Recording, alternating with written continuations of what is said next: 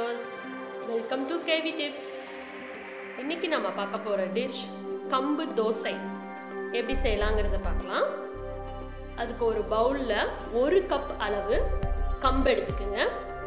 அரை கப் அளவு அரிசி. நீங்க எந்த கப்ல கம்பு எடுக்கிறீங்களோ அதே கப்லயே அரை கப் அரிசி அதே கப்லயே கா கப்புக்கு உளுத்து ஒரு டீஸ்பூன் அளவுக்கு வெந்தயம் எடுத்துக்கோங்க. அதை நல்லா கழுவிட்டு அதை ஒரு அஞ்சுல இருந்து ஆறு மணி நேரத்துக்கு நல்லா ஊற விட்டுருங்க.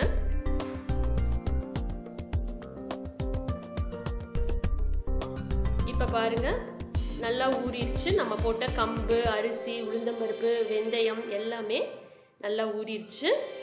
இதுக்கப்புறம் நம்ம இதை வந்து மிக்சி ஜார்லேயோ இல்லை கிரைண்டர்லேயோ போட்டு நல்லா அரைச்சிடணும்.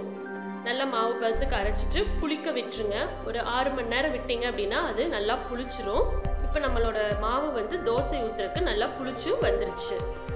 இதுக்கப்புறம் நம்ம ஒரு தோசைக்கல்ல நல்லா தண்ணி பார்த்தீங்க மாவு பார்த்தீங்கன்னா நல்லா தண்ணியாக கரைச்சிக்குங்க. அப்போதான் நல்லா கிறிஸ்பியாக வரும். நல்லா சாஃப்டாக வரும்.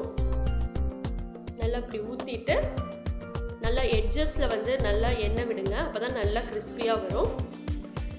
ரெண்டு பக்கமும் திருப்பி போட்டு வேக வச்சோம் அப்படின்னா நம்மளோட கம்பு தோசை ரெடி கம்பு சாப்பிட்றதுனால நம்மளோட உடல் பலம் பெறும். சுகர் பேஷண்ட்க்கு இது ரொம்ப நல்லது. அவங்க அதிகம் சேர்த்துக்கலாம். நோய் எதிர்ப்பு சக்தியும் அதிகமாகும். கம்பு சாப்பிட்றதுனால உடல் எடை குறையும். தோல் சுருக்கமெல்லாம் அதிகமாக வராது. அதனால இளமையாக இருக்கும் முடி கொட்டுறதும் குறையும். இந்த வீடியோ பிடிச்சிருந்தா லைக் பண்ணுங்க ஷேர் பண்ணுங்க. சப்ஸ்கிரைப் பண்ணுங்க சேனலை மறக்காம பெல் பட்டனையும் கிளிக் பண்ணுங்க. தேங்க்யூ